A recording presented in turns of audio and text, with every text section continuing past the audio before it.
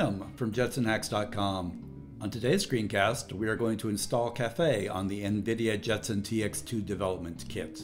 Let's get started.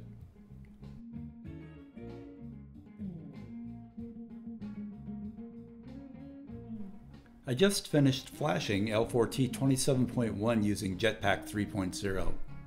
L4T 27.1 is a 64-bit Ubuntu 16.04 variant. I laugh every time I read stuff like that. Okay, so let's install Caffe. The first thing that we will do is go to the install caffe JTX2 repository on the Jetson Hacks GitHub accounts.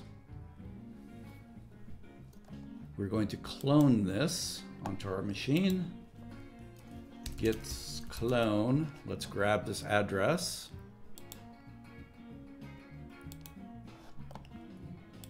Paste it here.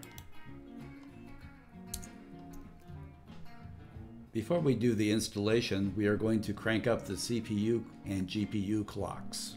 There's a script in the home directory to do that, sudo dot slash jetson clocks. Now we switch over to the installation directory.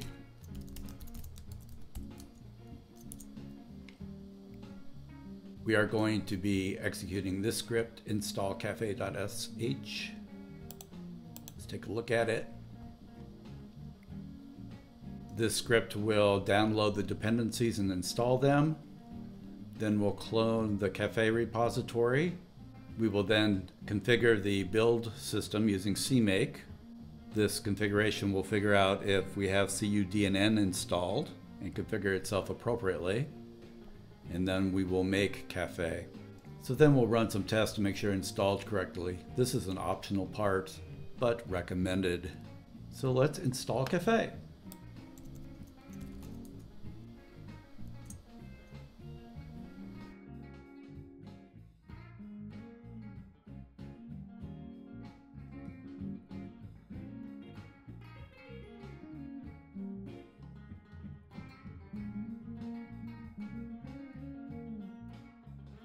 Installation complete.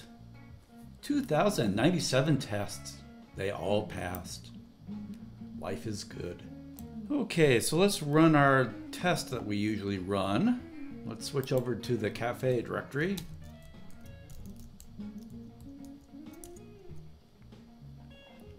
We'll grab our test here.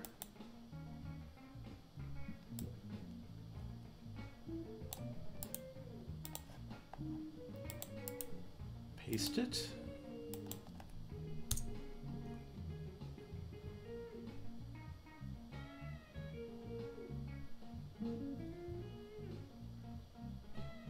Okay, so we see that our average forward pass is 64 milliseconds.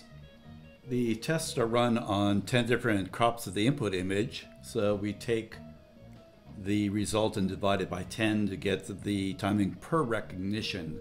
So it's 64 divided by 10, 6.4 milliseconds, 84 for the backwards, and 149 for the forward backwards. Let's compare that to a TX1.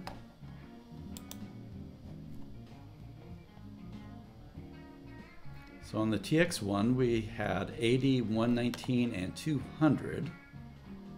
So it's 64 versus 80. 119 versus 84 and 200 versus 149. So the Jetson TX2 is quite a bit faster. This is running at maximum clocks. Let's take a look and see what happens when you run it at what they call Qmax, which is an energy saving mode. There is a utility called nvpmodel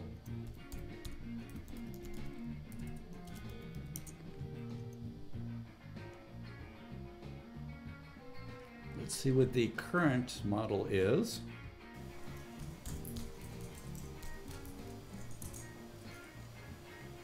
Let's try switching to Model 1 and see what happens. Ooh, it didn't like that.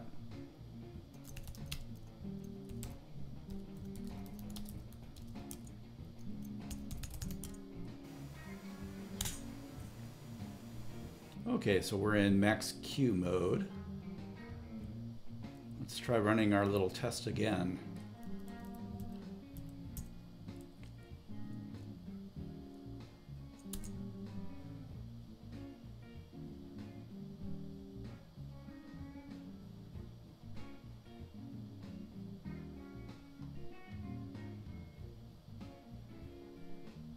So you can see in power conservation mode, it runs about the same speed as the Jetson TX1 does at maximum power.